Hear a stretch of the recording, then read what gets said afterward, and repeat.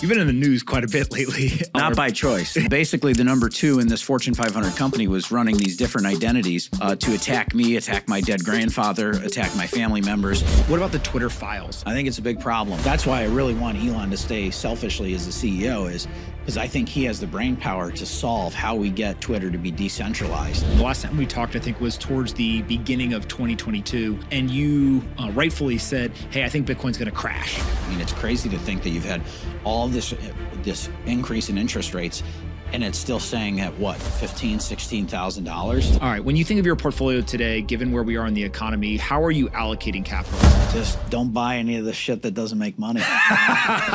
All right, guys. Bang bang. I've got Bill here. Uh, you and I have known each other for a long time now. There's a whole bunch of stuff we're going to talk about from Elon and Twitter, which is a deal you invested in, Bitcoin, the economy, the housing market, all that.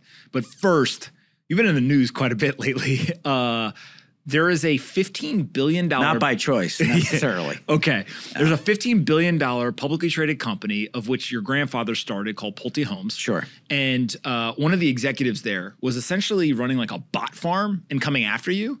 Allegedly. And okay. we have obviously very good proof. Uh, we feel very confident in it. But uh, basically, the number two in this Fortune 500 company was running these different identities uh, to attack me, attack my dead grandfather, attack my family members. And in many cases, it was almost daily uh, that this was going on. You know, I get a lot of stuff that said bad about me, just like you do on Twitter. Okay, I can handle a lot, but when you have, in this case, a guy taking a dead uh, guy's identity and repurposing it for these Twitter bots, for example, and then having these AI generated photos. There's one girl, she looks like in her 20s or 30s. Another guy looks in his 20s or 30s. And then you got this dead guy, right? And they're all, you know, attacking and amplifying each other.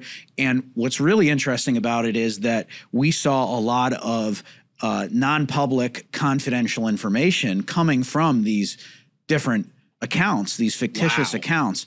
And so, you know, me being a former director of the company, you know, I was able to pick up on a little bit of, okay, you know, that's not information that's out there in the public domain. This is potentially a problem. And so uh, I started to get smart with it. And without getting into the forensics too much, we uncovered it. And like you said, it's become quite a big story in the last week or so. So this individual was doing this and um, as you started to uncover it, like, did you think that, oh, there's a bot farm? Or was it more of a, that account's weird, let me go check that account out? And then, like, you kind of uncovered the whole thing? Well, what was weird was that they were starting to interact with each other. So, mm. for instance, when I'm, I'm uh, improvising. I'm not necessarily yeah. quoting a tweet here because I'm in litigation with the guy. I'm, I'm going after him personally for doing this. I'm not suing the company, but um, you know they would interact with each other. So some some one of the bots would say something, and then the other bot would come in and say something back to give this impression of you know that they were talking to each other, and then they would like the tweets and retweet them and stuff like that.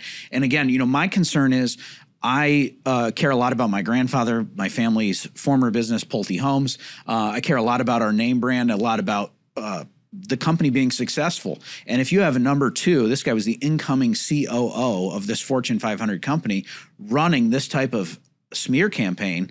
Uh, this is not somebody that you want running a $15 billion a year revenue company. I mean, how does somebody like this have time to do something like this when they're responsible for so much across this Fortune 500 company. It just doesn't make sense. How common is this type of stuff inside of these big companies? I think a lot of people throughout the last couple of years have seen various large companies that are publicly traded that you think uh, it's just a, nor- a, normal company. I'll put that in air quotes, right? But then you come to realize that the, either the individuals are doing crazy things or the company's doing crazy things. Like you've been in and around these companies, you were on the board of this specific company how common is this type of stuff? Well, you know, always at the board level, you're always wondering, okay, what isn't management telling us, right? They're always telling you great things that they're doing, but what aren't they telling you? I think, you know, and I, I don't know what the board's thinking necessarily, but I, what I would speculate, whether it's this board or another board or a company board, is that when you see this kind of stuff, you start to say, okay, how did this guy have this much time to do this kind of stuff on company time, allegedly? We have very good proof, and potentially on company devices and company equipment. I mean, this is a problem. And so, you know, it begs the question okay, what is going on at some of these other Fortune 500 companies? How do we make sure that, you know, as we have pension funds, investors, people investing in these big companies, you know, it's one thing to invest in a crypto company, no offense. And, you know, you know that you're getting a risky deal It's another thing to invest in a Fortune 500 company and have an executive be running something like this. And I think that's what's so shocking about this, or like the COO recently, who I think it was Beyond Meat's guy, right, who bit somebody's ear at a football game. I mean, it's just behavior that shouldn't be happening for a Fortune 500 executive. Why has the media been so interested in this? You've been on a bunch of different uh, outlets, and, and they seem to really have kind of latched onto this. What, what is it? Is it that it is a Fortune 500 company? Is it that it's an executive? Is it that you, it's your guys' uh, family's company and, and your name's still on it, even though uh, I don't know if you guys own shares or not still? Um, like, why is the media so kind of enthralled with this specific story? Well, they first thought it was just wild accusations. They said Pulte, and I was even on CNBC, and Scott Wapner saying these are wild allegations. You know, and I understand he's a journalist; he's got to push back.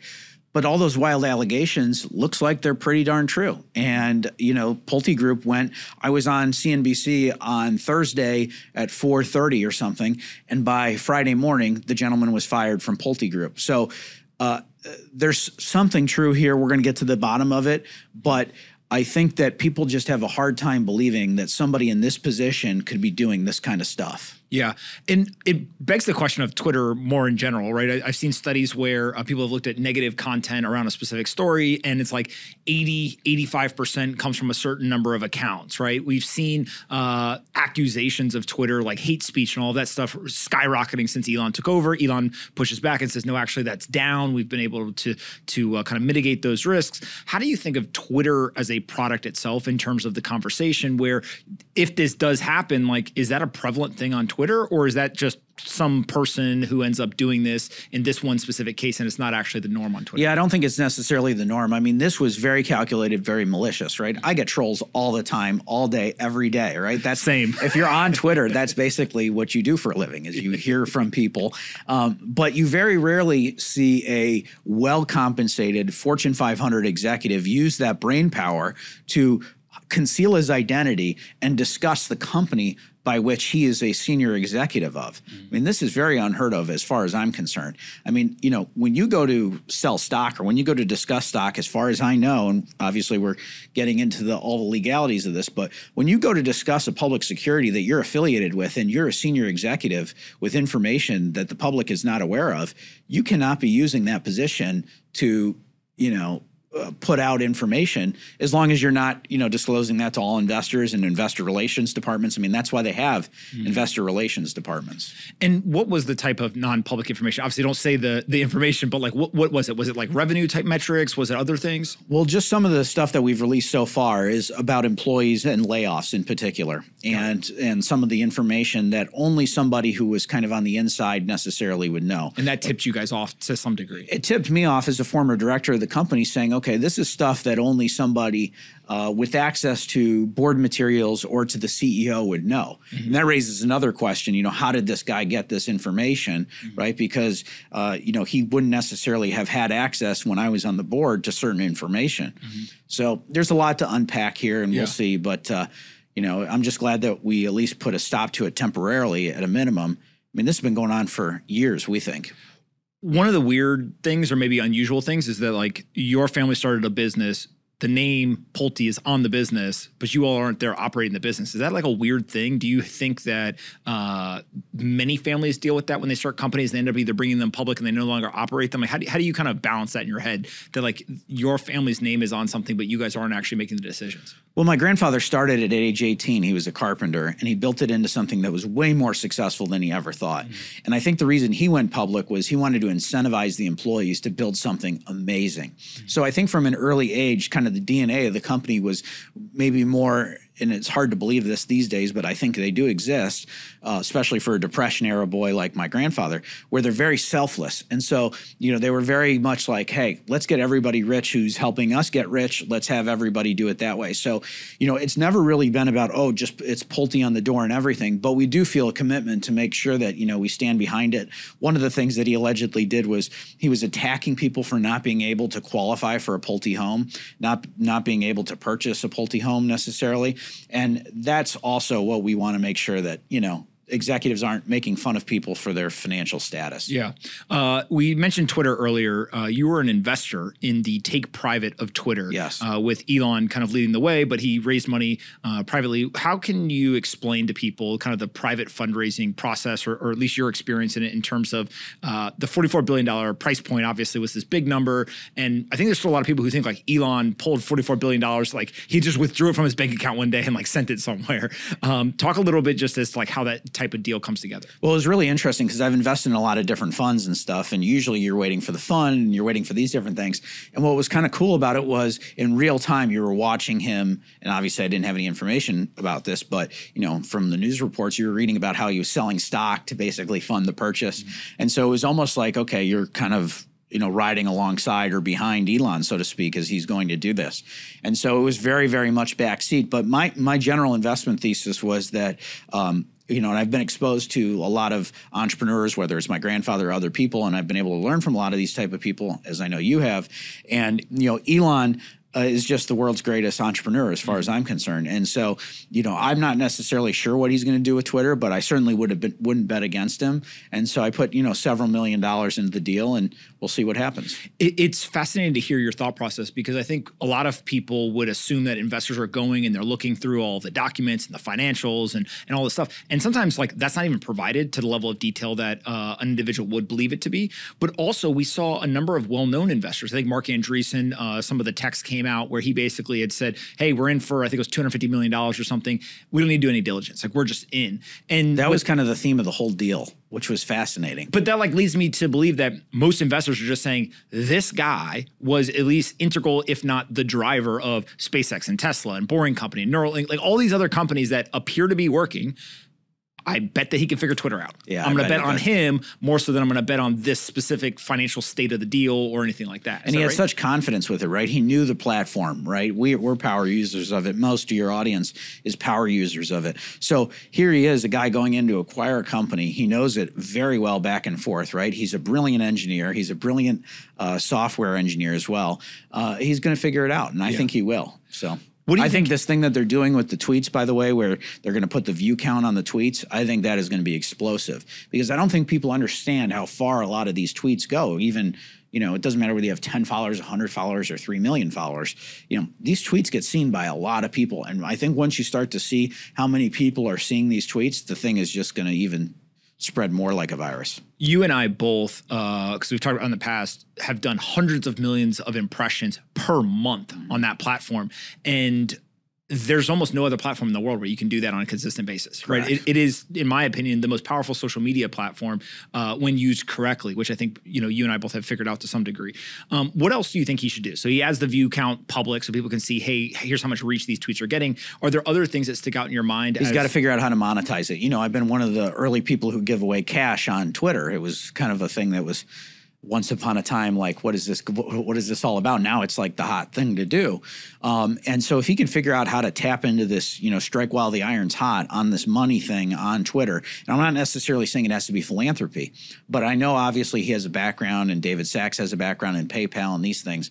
But if they can figure out how to make this a commerce site and really a uh, what is it a wechat so to speak this thing could be otherworldly in terms of powerful. I mean, this could be the most powerful app, in, in my opinion, in human history. Yeah. What's fascinating to me is that uh, it already serves the purpose that LinkedIn was supposed to serve. Like, I don't check LinkedIn for messages or like networking or any of that type of stuff.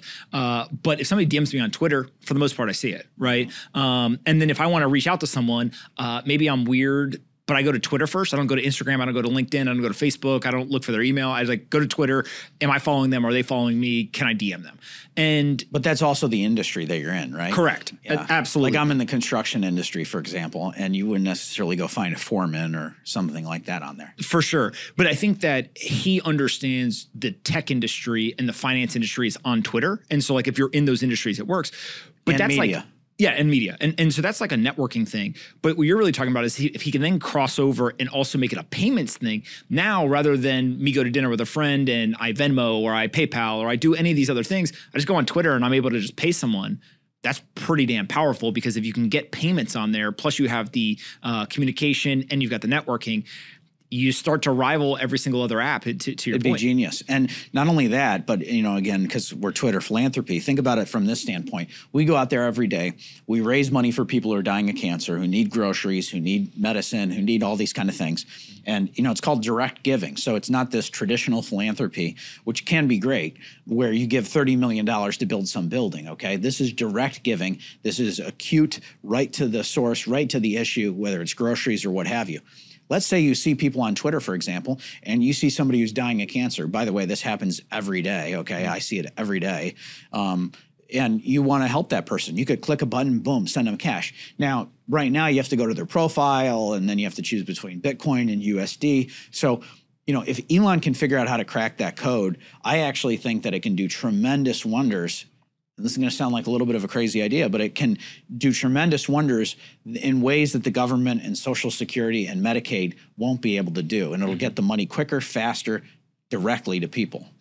I've always thought, uh, and, and, not my idea, just one that I've learned over time, the velocity leads to productivity, right? So if you can get velocity of money, if you can get velocity of output, if you can get velocity of communication, you get output. What you're really talking about here is if you can get velocity or reduced friction in the movement of money back and forth, people will not only use it for traditional like peer-to-peer type payments or, or reimbursing each other or whatever, but they'll find these new use cases, which I think one you pioneered was this Twitter philanthropy. And there's probably plenty others that someone out there in the world will either figure out, they'll pioneer, they'll champion, and all Elon has to do is just reduce the friction of being able to allow people to pay each other and then just let the internet magic go to work. Correct. And I don't know if you saw what he did, but he renamed it from super followers to subscribers. That was genius.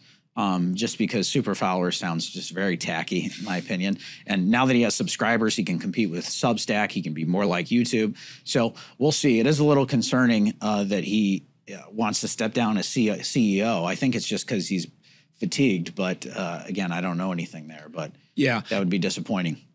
Would you be disappointed? It would. Yeah, yeah, yeah. I mean, I think that he's going to make it work no matter what. I think he's yeah. always going to be, you know, actually the CEO but he, you know nobody can replace his genius. Yeah. What about the Twitter files? Like in this whole like dump of uh, data and information and ideas. Like there's the information and then also how he's publicizing it. Like he went to independent journalist and said like, "Hey, I'm going to give it to you rather than give it to one of the big media companies." What did you think about that? I thought it was excellent, and in fact, I just started Pulte files this last week to expose these different bots that were, you know, using dead people's identities to attack me and my family and stuff like that. And so I'm leaking this stuff out, you know, slowly but surely uh, and it's called the Pulte file. So I was very Im- impressed with the twi- Twitter files, and we should be doing more of that, right? Mm-hmm. At one point, you had WikiLeaks, and you know now it's the Twitter files, and uh, the more transparency, the better. Yeah, uh, and then what about the actual information itself, where there was uh, social media companies working with the government, the government problem. was providing information. Like, how, how do you think about? Uh, is it there should be no communication between the platforms and the government? There should be a lot. There should be somewhere in between. Like, how, how do you just think about as a society, like what should be acceptable and what shouldn't be? I think it's a big problem, and I think Jack Dorsey was trying to figure it out in terms of being decentralized. I think that's why we love Bitcoin, right? Is because it's not controlled by any one person. So that's why I really want Elon to stay selfishly as the CEO is because I think he has the brain power to solve how we get Twitter to be decentralized mm-hmm. uh, to where really, unless it's something where you're breaking the law or whatever, you know, somebody who just wakes up on the wrong side of the bed one morning can't shut you off of Twitter. Yeah, I mean that that should be Twitter should almost be a human right in some ex- to some extent, in my opinion. Why do you think it should be a human right? Because I think that you know everybody has the right to free speech, in my opinion. And again, you know, as long as you're not actually causing harm or doing some t- some form of Ill- illegality. Um, you know, uh, you know, and again, scams and these type of things should all be taken off of there. But um, you know, I think that people need to express themselves. And when you don't express themselves, then what happens is you get things like January 6th or you get other different things where people get bottled up and then they they're going to find a way to, you know, do what they're going to do one way, so you might as well have it in the open. Yeah. Know? I think sunlight is the best disinfectant. Yeah, I agree with that. Uh, you mentioned Bitcoin. The last time we talked, I think, was towards the beginning of 2022.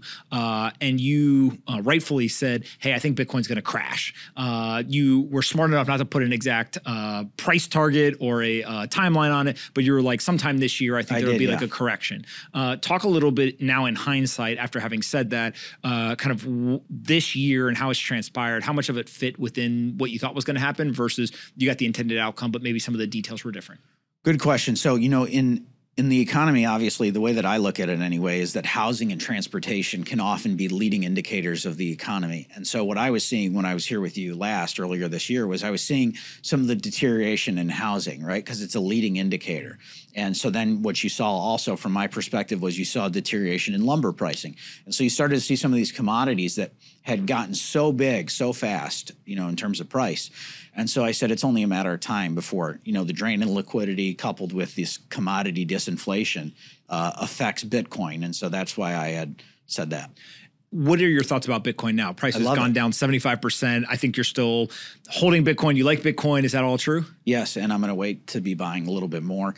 I think that uh, it's still a little too expensive given the liquidity dynamic. I think we're going to have continued liquidity problems in the market, in my opinion, uh, first quarter next year. And is that all being driven by the Fed just tightening financial conditions, Yes. keep raising interest rates, and, and selling off assets? You know, again, uh, you're talking to a housing guy, so I have kind of a unique perspective from an interest rate standpoint. We say in housing that interest rates are the mother's milk of housing. And so when you cut off the mother's milk of housing, in my opinion, that also goes downstream into the economy. And so I think that these interest rates, the effects of these interest rates, has not really been felt. It's been felt in housing, but I don't think it's made itself to mainstream business. And as you think about those interest rates, we've seen all year long they've continued to increase. We've seen the sell off of asset prices, um, and they've stated we want to destroy demand. We want to destroy demand. They've done a fantastic job on the investment appetite side. There is very little appetite for investment at the moment. On the other side, though, you have consumer spending, you have uh, household income, you have savings, like all these other metrics that seem to still be like fairly healthy. How do you balance uh, destruction of investment assets and investment prices with what still seems to be a somewhat strong consumer? I think it's only a matter of time. And I think, you know, we're in the HVAC business. That's where I spend a lot of my time direct to the homeowner. And we are seeing people being really uh, reticent, so to speak, to spend the big ticket items that they were doing a year or two ago. So I think it's going to be a lag effect and it's just a matter of time. Yeah, and that means that the Fed at some point will have to pivot. And I think they already have. I mean, they Okay. went down to 50 basis points and, um, you know, I think they'll continue to increase, but it, it could be potentially pretty tough. four and a half percent now. What do you think they get to? Don't know, but I'll tell you this. six?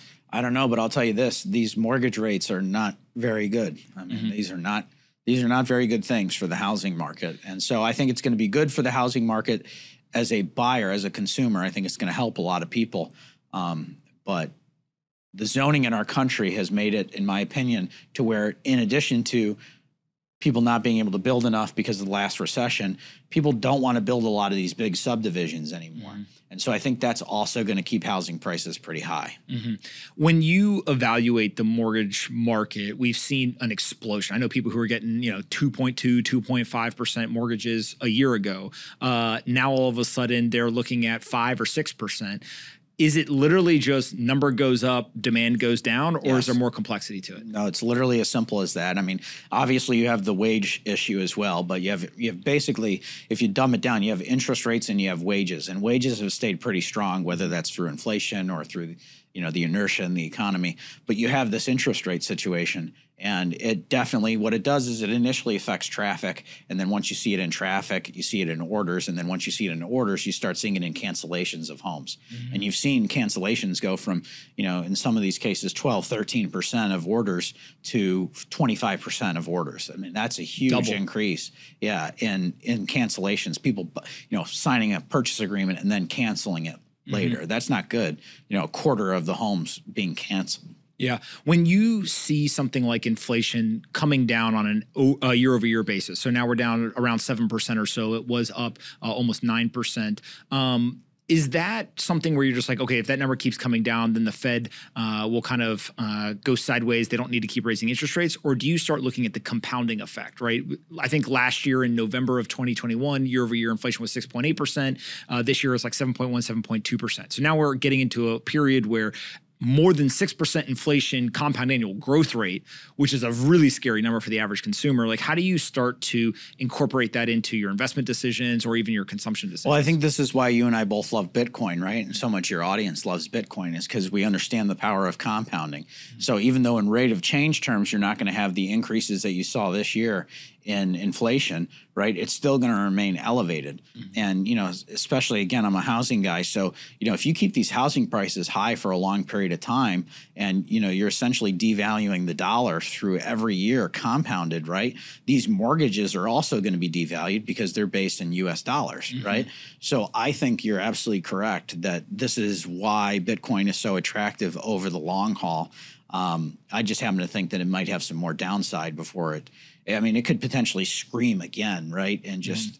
epic fashion. Yeah. I mean, it's pretty crazy. The whole use case that you laid out when everybody thought you were crazy a few years ago has totally proven itself as far mm. as I'm concerned. The two pieces to the argument the store of value. Uh, there's lots of people who say hey if it's a store of value then you also said it was going to be an inflation hedge. And uh, they look at the yeah, price it has been down. in many ways though compared to other things. So that's my argument is bitcoin has actually been the best inflation hedge because uh, if you go back to 2020 it was trading at $8000 uh, before inflation crossed over 5% it went from 8,000 all the way up to $64000 in march of 2021 and so from that standpoint assets and markets are forward looking. It saw inflation is coming, people ran to an inflation hedge asset and it increased in price. Now, what's happening is as the Fed said, hey, we're going to tighten conditions, we're going to go ahead and destroy demand. Again, forward looking, all of the people who are holding it say, oh, these inflation hedge assets aren't going to do nearly as well as they bring down inflation. They have liquidity uh, issues in the economy. I'm going to sell this asset and I'm going to go into value stocks or other types of uh, cash or, or whatever that's to me exactly how an inflation hedge should be working is goes up before the inflation hits and then it comes down when they go ahead and they destroy demand, right? Exactly. Right. Mic drop. I couldn't even say it better. Yeah. When you think of your portfolio today, and that's get, just math. I mean, anybody who takes issue with that, look at where Bitcoin was and look at where it's at now. I mean, it's crazy to think that you've had all this eh, this increase in interest rates and it's still staying at what fifteen, sixteen thousand dollars. It's double where it was at the beginning of yeah, 2020. I mean, you know, I mean, pigs get fat, hogs get slaughtered. So anybody who's claiming, oh well, you know, it went up really high. Well, you know, should it have really gone up that high? Mm-hmm. Was that part of the mania as well? I don't think that it has fundamentally something to do with Bitcoin. Yeah, and when you think of those fundamentals, everything still you think is intact in terms of like the argument for Bitcoin. It's yes. just the price has the volatility to it. Yes, yes. All right. When you think of your portfolio today, given where we are in the economy, how are you allocating capital? Like, do you think of percentages to stocks or real estate or, or Bitcoin, or how do you think about it? Yeah. This episode is brought to you by Eight Sleep. Good sleep is a game changer, and the 8 Sleep Pod is the best sleep machine. I sleep on it every single night. A great night of sleep allows you to be healthier, be more rested, and have more energy throughout the day.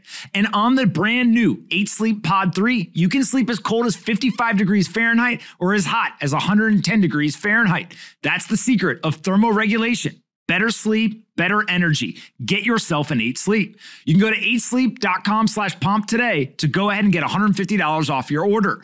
8sleep.com slash pomp. Not only do I sleep on it every night, it literally changed my life, and I begged the founders to let me invest in the company. 8sleep.com slash pomp. Go get yourself an 8 Sleep pod and get a better night of sleep. I'm almost 100% in stocks and other than my Bitcoin allocation. And the way that I look at it is, is I also sell calls on my stock. Mm-hmm. So, you know, for people who aren't familiar with that, you know, you can have a broker, you can have somebody else, you know, effectively sell calls.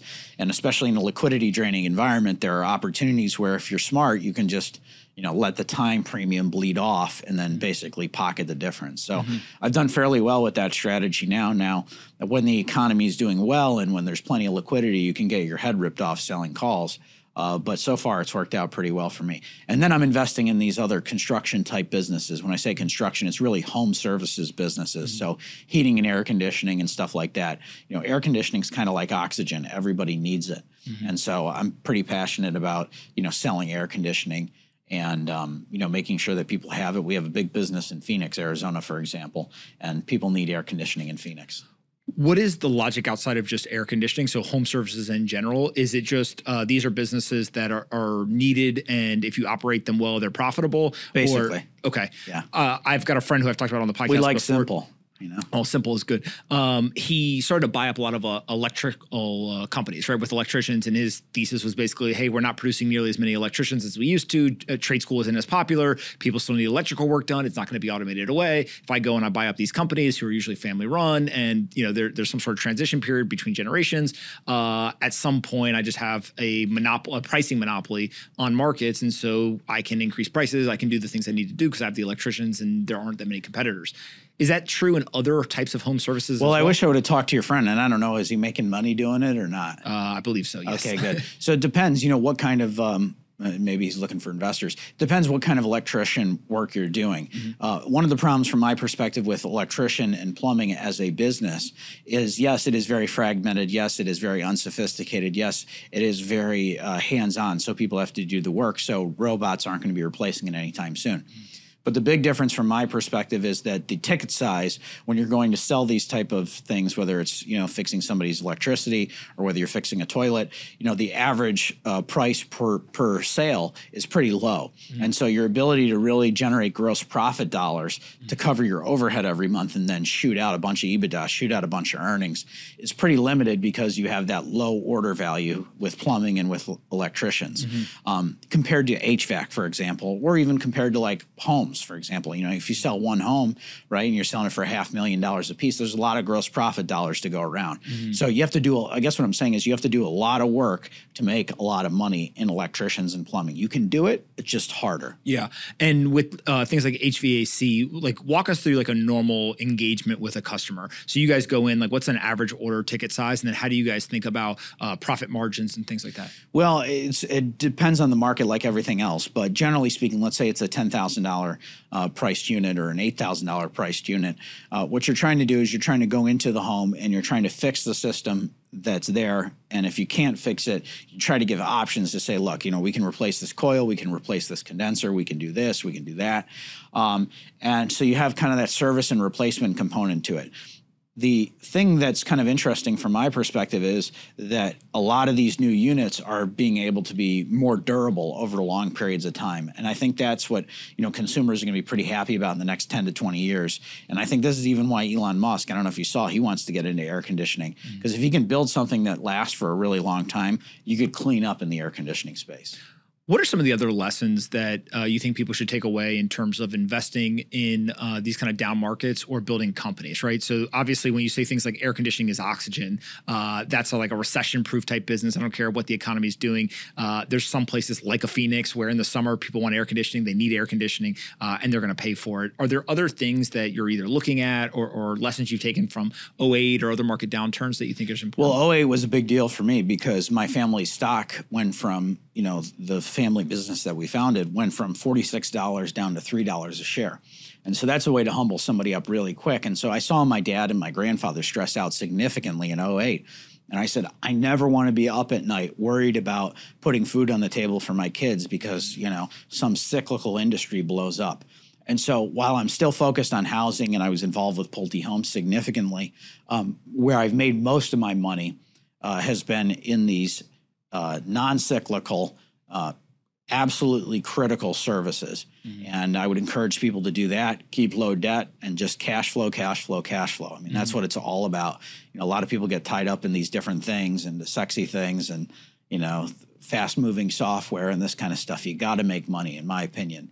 Um, or at least I know I got to make money if I want to give it away on Twitter. So. And when you are looking at the growth of these companies, how much of it is growth by acquisition versus like organic growth, where you can go hire more salespeople, you can go and get more business drummed up through you know various business development activities? Like, do you just try to buy up a bunch of companies and roll them up, or is it more organic? Well, we buy into the companies or we buy the companies, but for the most part, the growth is coming from our know-how, having built you know Pulte Homes in my grandfather's case, and him having transferred a lot of that knowledge to me, a lot of that institutional knowledge about how to build these companies, I've been able to then go about implementing it in these different companies. And so mm-hmm. our growth rates are anywhere from 100 to 300% in some of these unsexy businesses like heating and air conditioning and stuff like that. Mm-hmm. And it doesn't take a rocket scientist to figure out if you have a business that's in air conditioning growing at 100 to 200 to 300% per year you can make a lot of money pretty quickly. Mm-hmm. And unfortunately or fortunately, I need to do that because I'm giving away so much money on Twitter. Yeah.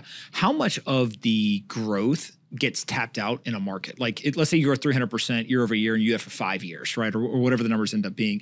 Uh, the growth rate naturally will slow as you get a bigger uh, kind of denominator. But can you just tap out a market and then you have to make the decision like either go buy a company in another market or like this is the business that we're going to have because we just saturated this entire market? Good question. First, you want to go to markets where it's very hard to saturate, right? So we're in Phoenix, for example. We're in Atlanta, Georgia. We're in Los Angeles, right? Mm-hmm. So um, if we ever get to market saturation levels, we'll be very happy mm-hmm. and we'll be able to give away a lot of money uh, to a lot of different people. Um, so yeah, it's kind of interesting. But um, we try to focus on getting the market right first and not being in the middle of nowhere where, you know, the dollars just don't make sense. Mm-hmm. And we're trying to make, you know, a lot of money doing this, as I said, so we can fundamentally transform the way that philanthropy is done on a direct giving approach. Mm-hmm. That's what we're trying to do with Twitter philanthropy. Mm-hmm. What about the labor market? You guys obviously employ a lot of people. Um, are you seeing any changes there over the last year? Yeah, you got to pay people enough. I always hear, and I love boomers, but I always hear boomers say, you know, these young people, they never want to work. But I always say, first of all, there's young people who want to work. It's just you got to pay them enough to want to work, mm-hmm. you know. And um, that's one of the things we teach in our businesses. Is people often say to us, "Well, how do you get people to grow so fast in the trades, right? In the heating and air conditioning and plumbing and electrician?" Because you know a lot of people don't want to do that type of work. Well, some of these guys are making 150, 200, 300, 400,000 dollars a year doing air conditioning mean, I know one guy who he was in a different business, kind of a traditional Fortune 500 type role, and he went in and he became an HVAC salesperson. Now, before you you know say something about that, you know, understand this guy's now making you know, seven, eight hundred, nine hundred thousand dollars a year, right? Wow. Maybe over a million dollars this year he'll make, you know, by the time this year is closed out. So there is just tremendous opportunity where other people won't want to work. And, you know, it's not sexy, it's not, you know, podcast, it's not Mr. Beast type stuff, right? Where you're making money. Um, and I give you guys great credit for building it. It's this unsexy work, but we make good money doing it. Yeah, and when you talk about like paying people enough, uh, I recently wrote about the minimum wage, and what's fascinating to me, federal minimum wage still seven dollars twenty five cents, been that way since two thousand and nine. Uh, obviously, some states have increased the state minimum wage, but what has always been interesting is that there are private or publicly traded companies that have set their corporate minimum wage at much higher rates. So uh, you can go down the list. There's you know everything from Disney to Facebook to Aetna to uh, J.P. Morgan Chase to Amazon, et cetera, that all have fifteen dollars or more as their minimum wage. That's their average starting salary, or, or even higher. I think Amazon's at like nineteen bucks now. And so when you start to look at some of this stuff, the paying them enough you're essentially highlighting the fact that politicians at the national level say $7.25 is the minimum. But companies are saying, I can't get anyone to come work for $7.25. I need to pay 15, 16, 17, 18, $19 an hour just to get these people to show up. Well, ironically, a lot of that happens to do with what politicians have caused with inflation, right? Mm-hmm. People need to do that. So, in a perverse way, they actually haven't helped as much as they've hurt by with this inflation and printing all this money and everything. And so, you know, people need that type of dollars to to live. This is why you and I get along is because that's exactly what I was writing about is that in Turkey they have 85 I think it's 84.5% annual inflation. So year over year price change of goods and services in that country is 84%, which is insane, nearly impossible for the average family to survive and, and buy basic necessities. Uh, just this week, we saw the Turkish politicians go ahead and vote and implement a 55% increase in the minimum wage. And so there's a lot of people who say, hey, inflation's high, there's people who are suffering, let's increase the minimum wage. But one of the things that they don't understand is if you increase minimum wage by 55%, you're essentially increasing the labor cost for corporations. If you increase labor costs, they're going to have to increase their prices to be able to st- remain profitable, which actually, in some weird way, means that they may be contributing to more inflation rather than actually being able to just help the people. So it's like a good intended outcome for helping individual workers, but you may actually be exasperating the inflation problem by having the government intervene in the market. And so, you know, how do you all think about what's going on in the economy, but also like the decisions you make and the prices that you choose and, and all these things? You're probably not thinking about inflation as much as you're thinking about like what are the cost of our goods, what are the cost of uh, the inputs, what are the cost of labor, like all that stuff to determine what you're actually selling the stuff for. I think the best way to do it is to go on a business by business level. So, for example, we own 12 companies, as I said, in the air conditioning space the advice I give to the guys there is like, hey, we need to figure out like number one, how should we be pricing these jobs? Number two, can we make money doing it? Because if we can't make money doing it, we can't afford to pay these people these prices, and ultimately we can't afford to keep the lights on. We can't afford to pay ourselves. You know, we got to get paid uh, r- running these businesses and stuff. And so I literally look at for a living, you know, hundreds now thousands. Uh, it's probably tens of thousands of companies for a living. That's literally what I do in this kind of space in the home services space. And what I'm saying is that some of these guys shouldn't be in business, and that's not something that should be, you know, um, told to everybody.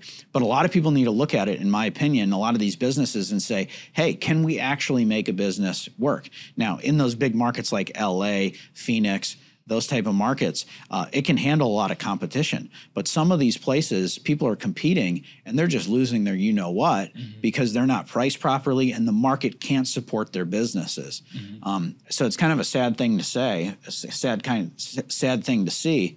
But um, you know, if you can't afford to pay people, maybe you need to go to a different geography, or maybe you should be doing something else uh, in business if you had to go back to the beginning of your career with all the knowledge you have and you're a young person today in this market, what would you do? Yeah, well, I'm still screwing up and learning, so that's good. um, and so I continue to do that. Um, but yeah, that's just where I've made most of my mistakes is is through running these different companies and you know seeing what pisses people off and then mm-hmm. you know having them quit and then learning the hard way. Mm-hmm. Um, so you know, I just say embrace the mistakes, and that's what I've tried to do. But uh, you know, finance is the language of business, in my opinion, mm-hmm. and that comes from a housing guy, a tradesman type guy, you know, who you know with nails and and you know drywall and flooring and roofing and stuff like that. But you can do that stuff all day long. But if you don't understand finance, and I'm talking about literally knowing income statement, balance sheet, cash flow statement, mm-hmm. I think that's what's going to make or break people in this next period of time is people who are really have what I call in our companies complete and accurate financials. Mm-hmm. And it's just unbelievable to me how many people are operating these companies that are doing 10, 20, 30, 50, 100 million worth of revenue and they don't have complete and accurate financials. What are the so, biggest mistakes you see that they make? Like, are they just like ignorant mistakes or, or like lack with, of focus with the financials? Yeah, like uh, like when you're looking at a business and and you see that they're not complete and accurate financials. Like, what would you say are like the two biggest things you see as mistakes? Well, the most thing is that, like, so let's say you're in the podcasting business, or let's say you're in I don't know the marketing business, or let's say you're even in the housing business. Okay, you understand those trades very well, mm-hmm. but I think what often happens is entrepreneurs don't want to look in and understand the basic financials, so the balance sheet, the income statement, the cash flow statement. And from my perspective, when you don't have the when you don't have the um, the understanding of the trade and the finance at the same time, uh, you're really setting yourself up to get screwed. And so, from my perspective, that operator, I don't care how great of a mechanic they are, how great of a plumber they are, they need to understand how their financials are built and closed at the end of every month. Mm-hmm. And there's a high, high correlation between people who are worth, you know, 50, 100, 200 million dollars and I'm telling you, damn near everyone I've met knows the trade side, meaning the individual specialty, as well as the finance side. I've yet to meet somebody who just knows about the trade side of things. Mm-hmm. And um, yeah, that would be probably the biggest thing. What are you hearing from banks? You, you talked to a lot of financial institutions as well. Um, are they doling out money to kind of professional investors and, and wealthy people, and they're saying, "Hey, go in and start investing now. We think now's a good time to buy up assets that may be underpriced." Uh, are they still waiting? What, what, are those conversations? If you've proven to make money, banks will lend you money. Mm-hmm. But in this environment right now, everybody's tightening up, and if you're not a proven commodity, if you don't have, uh, you know, if you're not a creditor who can pay back the money, they don't want anything to do with you from my perspective. And so I think that's also going to impact private valuations. It already has, right? Um, but specifically in the leverage buyout market and some of these profitable operating companies, I think you're going to start to see some multiple compression come down because financing isn't going to be as available. Mm-hmm. And that's just a math equation, but it's also, I think, a lot of these credit committees at these banks saying, hey, you know, yeah, we'll give money to Pulte because we know he'll pay it back, but you know, maybe this person we might not. Yeah. Is that what they say to you? They're like, hey, you, you make money, we'll give you money? Yes, basically. Yeah. Yeah. Yeah, Do people don't like lending money and then losing money. It turns yeah. out shocking. I mean, it happens in these low interest rate environments where people convince themselves yeah. that they do, but that's just. The, the, I don't want. I don't want you to tell any of your uh, your secrets, but uh, when you go to raise money, whether it's debt or equity, do you like? I don't raise equity debt, thank God, okay. anymore. So I raise debt just to you know, get a little bit extra kick on the return. When you do that, do you just go back to the same partners or do you create like auction type processes where there's a bidding war? Like, how, how do you actually go through it? And uh, what I think would be interesting to people is most people who listen to this are probably in tech and venture capital and, and more used to the equity type fundraising. But when you're looking at these debt type deals and you're going to the banks, how, how exactly are you able to get kind of best terms? Well, from a debt perspective, what really matters is cash flow, net cash flow. How much money are you putting in the bank at the end of the day? Because debt holders, I wouldn't say that they're smarter than equity holders, but they're way more conservative. And so, um, you know, again, I'm a big fan because my family has gone from having a housing business that made a ton of money to losing billions of dollars a year, right? So, so we don't want to do that again. That was a big no-no. So I try to buy businesses. I don't care whether they're software, whether they're housing, that are making money. Mm-hmm. And maybe that limits the growth, but you know what? I'm not going to get screwed all the time, and I'm not going to get lines of credit pulled and those kind of things. Mm-hmm. So I forget where were we. Uh, how do you actually go and raise the the debt financing? So when you go to raise the money, basically you say, look, okay, first of all, I only put things in front of banks that are bulletproof from a cash flow perspective, mm-hmm. because um, all it takes is one deal to blow up, in my opinion, and then banks do not view you as a high fidelity investor mm-hmm. anymore. Mm-hmm. Now, you do have different private equity funds where they'll have deals blow up and stuff like that, uh, but that also affects their track record. So I really try to focus on the cash flow, make sure it's recurring, make sure it's a stable business, and then and only then will I go and raise the debt. Yeah. And then how do you think about paying off the debt? Do you just pay whatever the uh, minimum monthly payments are? No. Do you try to pay it off as fast as possible? We have a fa- phrase at our companies, um, and it's not sophisticated, but it's one that we came up with, which is crush debt. So, so for example, um, I know exactly what that means, which means it's a great phrase. yeah, yeah, yeah, crush debt. And you know, I talked a lot about net cash flow and buying these companies with net cash flow, but even more important than buying companies with net cash flow is uh, crushing debt because the net cash flow is the leading indicator to being able to crush debt. And if you start to see your debt balances go down, I'll give you an example. I'll give you a real life example. We just borrowed $10 million uh, a few weeks ago to do a dividend recap to take money out of a company uh, that's doing very well. We, we decided not to sell the company because it was just making so much money. It's growing so fast, we poured our heart and soul into it. So we took a $10 million dividend out of the company. And what we've done is we're not just focused on the earnings power of the business, but we're actively focused on paying down that 10 million. And I think we're already paid it down by like $2 million or something like that. So, so the net debt balance is down to like from 10 to 8 in a period of however many weeks. Mm-hmm. And my point being is that to me is like the ultimate measure of, you know, being able to get wealth and liquidity is being able to get rid of your debt.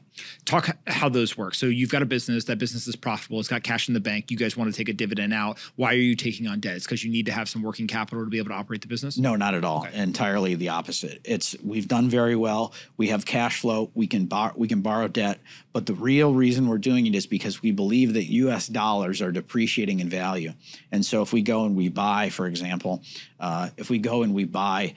Uh, or we go and we borrow debt. Let's say we borrow the 10 million, and let's say I put the 10 million in SPY in the S&P 500. In my opinion, uh, you'd be better off um, taking the US dollars, putting it in the S&P 500, using the cash flow, paying a little bit of interest expense yeah. and on a, you know, weighted average cost of capital, I think that it's going to make tons of sense to be investing in the S&P 500 than than the US dollar even with this interest expense. So most people are familiar with the interest rate where they interact with it is on mortgages. That's probably the number one place, and, and maybe they've got some treasury exposure or, or they've got some uh, some interest on uh, on longstanding debt that has a variable rate or something. But for corporations like you're describing here, what is the difference between the interest rate that you would have paid last year, kind of in, during the mania, and the interest rate that you would pay now after the Fed has uh, kind of increased interest rates so much? It's meaningful, but again, a good business can afford increase in interest rates, right? And I think that's one of the things that's very um, informative about this whole experience has been and when i try to preach always is like you know look my family's been through these cycles in these shitty businesses excuse my language where you know boom and bust boom and bust and you really want to build a business that can withstand anything mm-hmm. and so um, yeah, that's what I focus on. Last thing I want to talk about is Twitter philanthropy. Sure. You, you, you are the pioneer. You're the creator of Twitter philanthropy. The first time I saw you giving away money, I was like, "Holy shit! You know what, what is it? What is he doing? Right? Why, why, why is he doing this?" Um, and uh, it seems like it's taken on a life of its own. Like, what is the update now at the end of 2022 for Twitter philanthropy? I mean, it's bigger than ever. It's uh, more viral than ever. You know, I've always said Twitter philanthropy will never be successful as long as it's dependent on me and my money because I'm just one dude who's got money.